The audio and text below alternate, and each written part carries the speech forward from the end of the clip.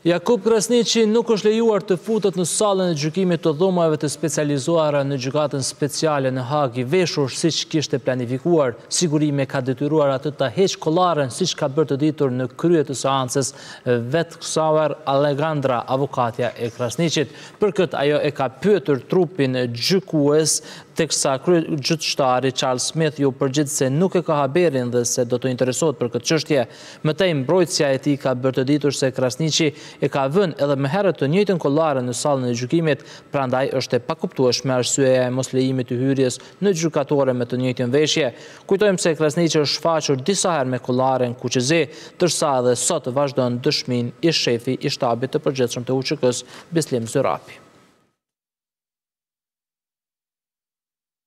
Sa